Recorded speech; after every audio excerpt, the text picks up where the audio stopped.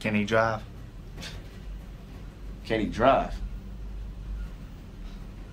You know what DK stands for?